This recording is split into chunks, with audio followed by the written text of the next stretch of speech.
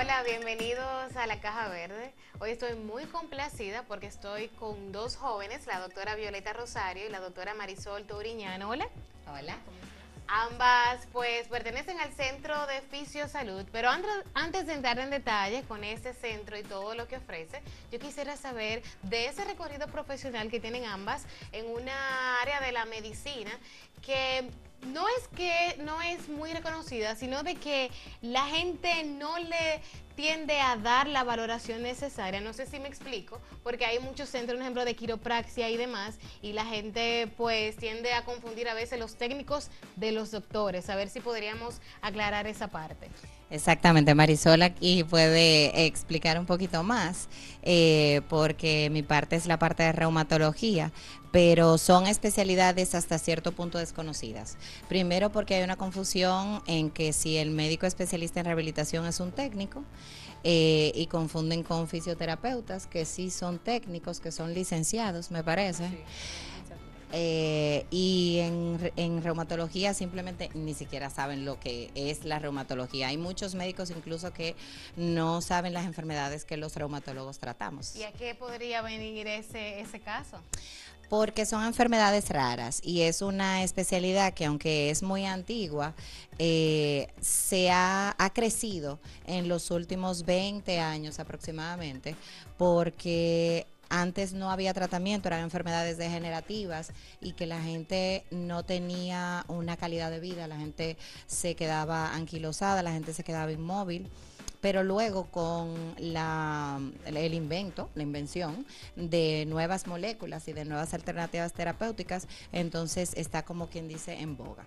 Y en tu caso, Violeta, ¿cómo te acercaste a esa profesión, sobre todo de que como no es tan conocida como tú dijiste, ¿cómo, cómo llegaste ahí? A mí sí me la dieron en la universidad, eh, yo estudié en INTEC y me la dio uno de uno que es mi, mi colega ahora, el doctor Raúl García. Eh, pero a mí me gustó porque a mí no me gustaba nada con cirugía. Al principio yo pensaba que quería hacer oftalmología, pero uno siempre tiene como unas ideas en la carrera que uno va cambiando. Y luego, cuando estuve preparándome para coger el examen MIR de España, me di cuenta de que era lo que realmente me gustaba. Al tener que repasar la carrera entera para poder preparar el examen, me di cuenta que las especialidades que me gustaban eran las clínicas. Entonces la reumatología era la que tenía el primer lugar. Y en el caso, ya cuando, bueno, ya eres doctora en reumatología, ¿cómo ves ese campo en la República Dominicana? Cuando yo llegué de España en el 2013, conmigo éramos solo 13 reumatólogos oh, en el país. Ahora somos más y ha crecido exponencialmente porque tenemos eh, dos residencias de reumatología aquí que antes no había. Cuando yo me fui en el 2008 no existían residencias aquí. Entonces, actualmente somos 32, si no me equivoco reumatólogos porque ya se han ido formando especialistas eh, aquí en el país. O sea que antes estaba un poquito lenta, pero yo creo que ha ido creciendo con el paso de los años. No, y sobre todo el darle la información a la gente de qué, qué, es lo que hace un reumatólogo para que sepa dónde dirigirse y no automedicarse, que una de las problemáticas que sobre todo el latinoamericano tiene, para ver si podrías explicar, pues en palabras bastante llanas, que quienes nos estén sintonizando puedan entonces ir incluso al centro. Sí, claro.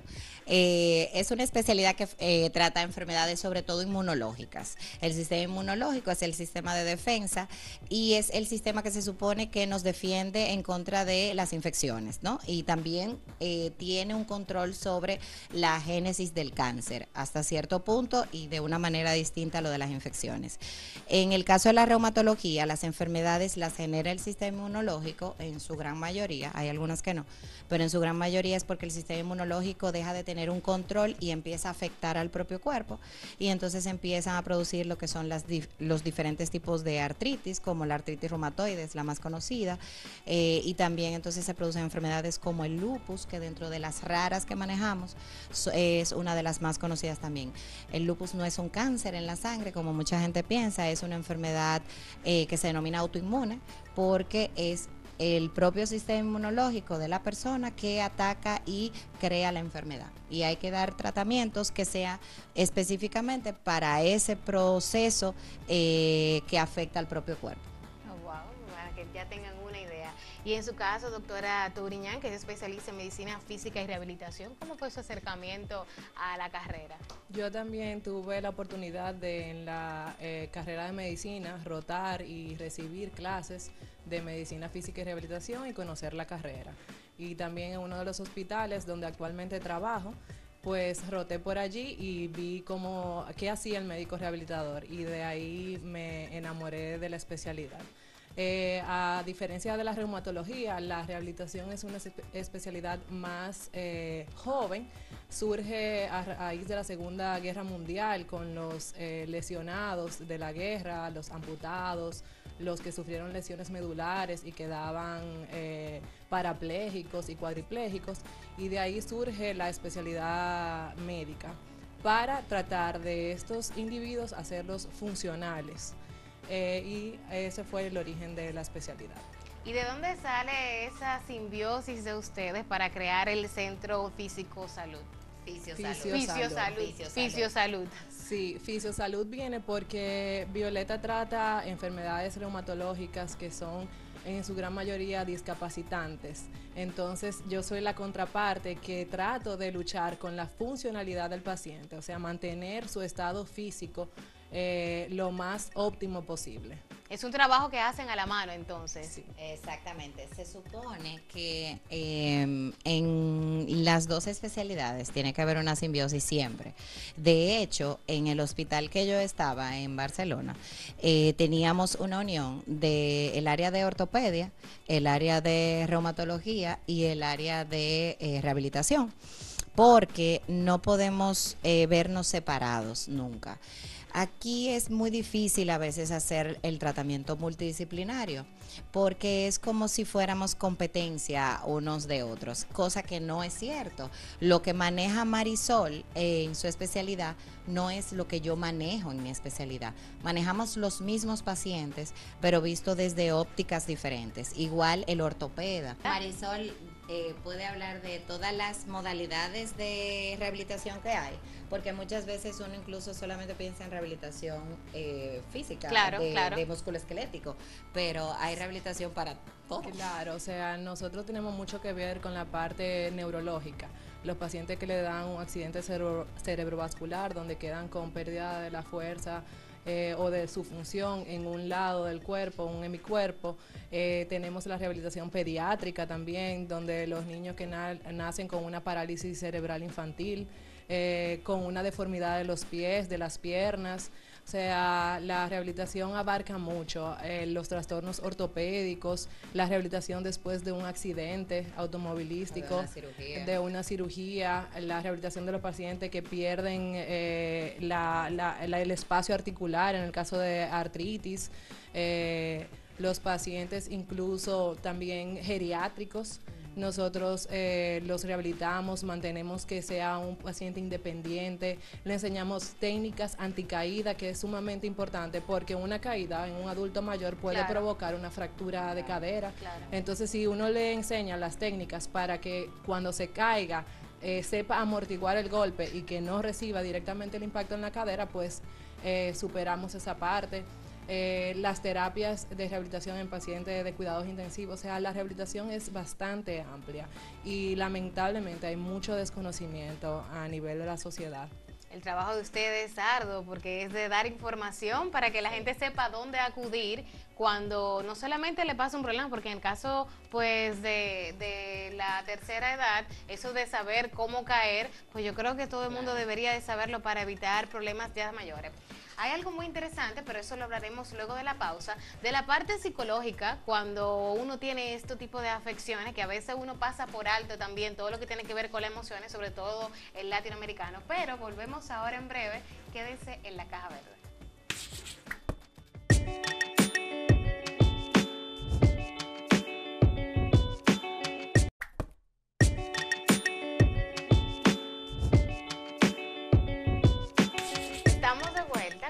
Doctoras de Fisiosalud, Violeta Rosario y Marisol Doriñán. Y damos una pregunta en el aire con respecto a la parte psicológica de alguien pues que tiene algún dolor o que tuvo algún accidente, que eso la gente como que no le da tanta importancia y solamente se fija en la parte física. En ese aspecto emocional, ¿cómo ustedes lo trabajan?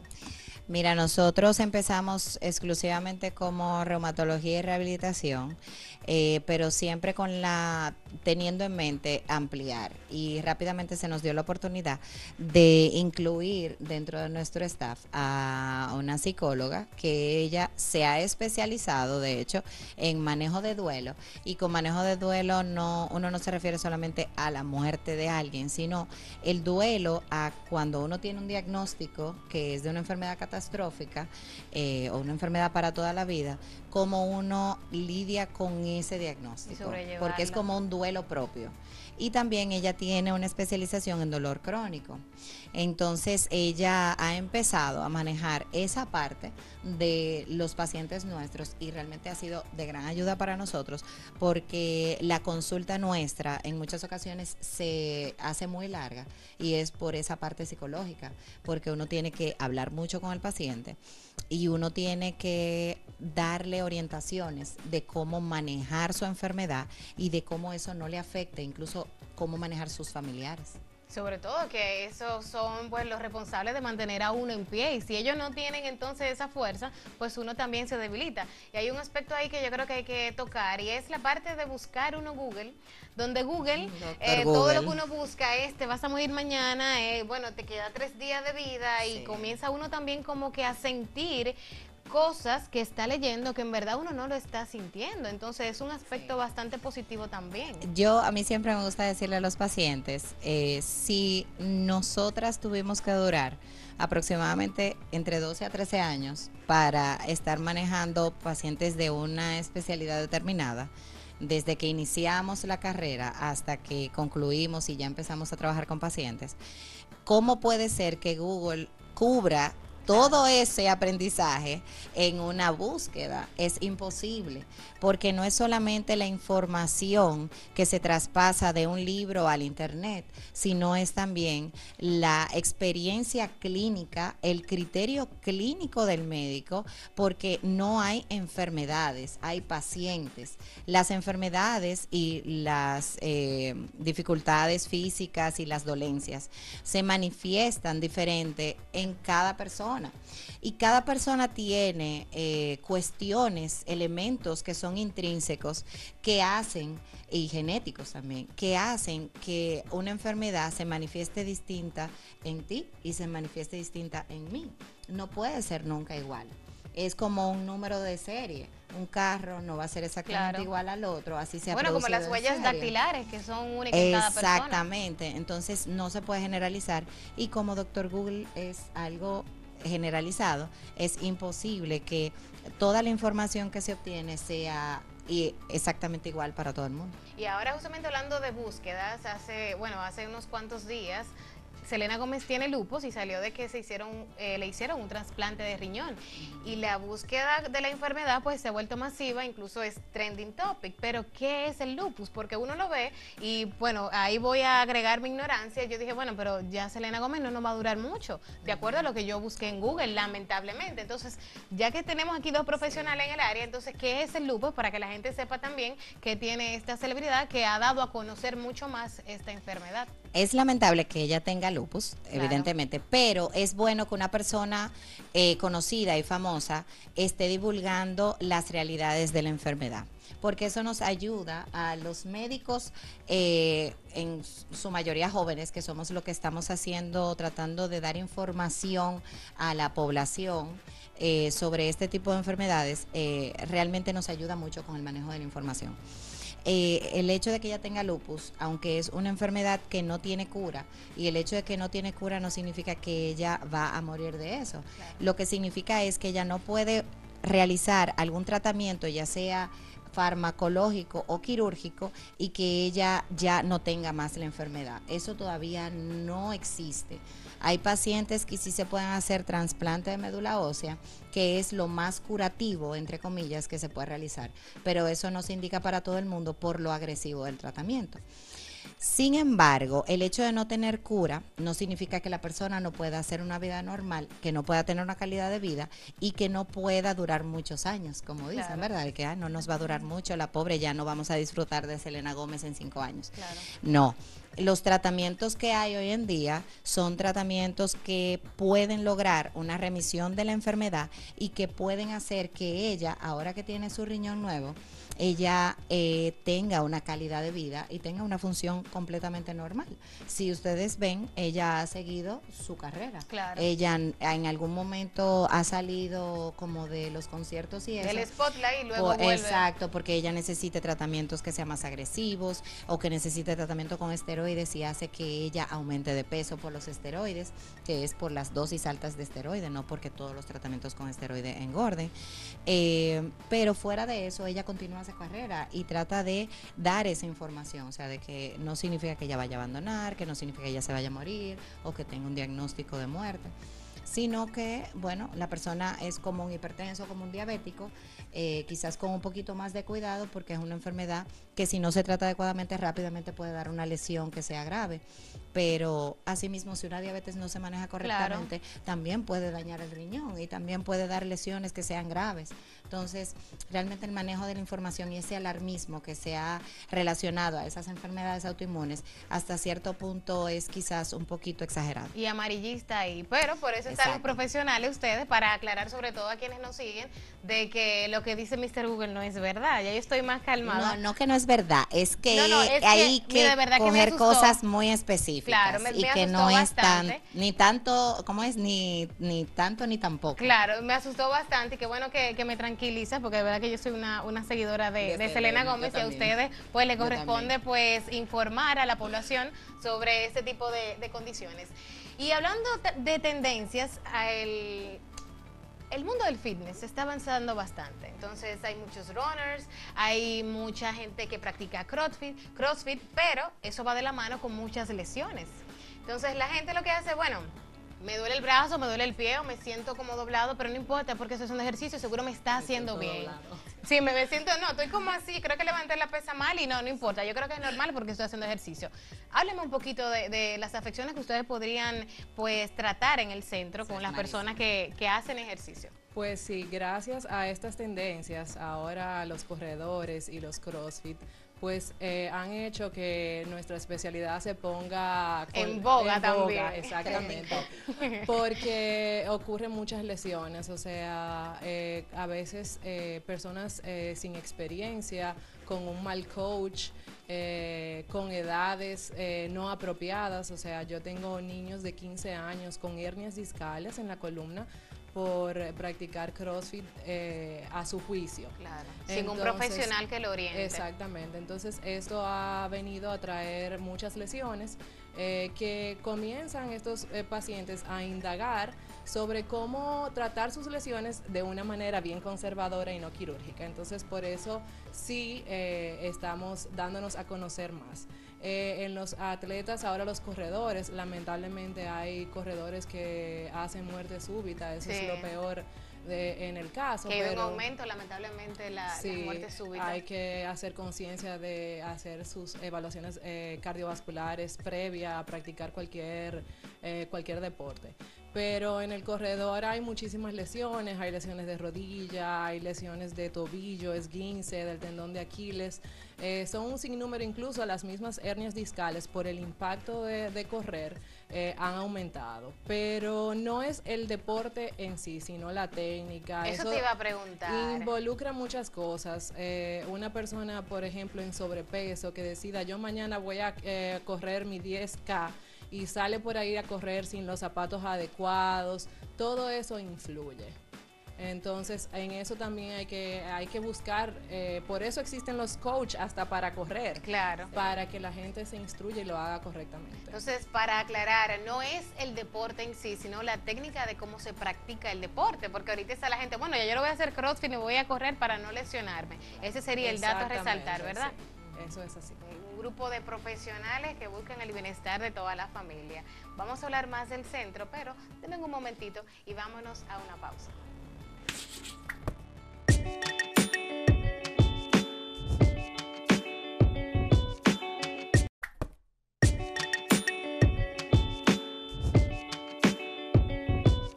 Estamos de vuelta en la caja verde. Nosotros tendemos a cambiar de postura de forma diaria, sobre todo en el celular, que uno se encorva y se sigue encorvando con la computadora y que también cuando uno se sienta, que lamentablemente uno se siente a veces más cómodo de esa forma que, que, de la, que la postura correcta. ¿Qué tanto nos afecta este nuevo estilo de vida que tenemos en este siglo para nuestro funcionamiento en general en el cuerpo? Bueno, sí hay muchas cosas, el mismo sedentarismo de trabajar todo el tiempo sentado o en una misma posición, porque hay personas que trabajan todo el tiempo parada.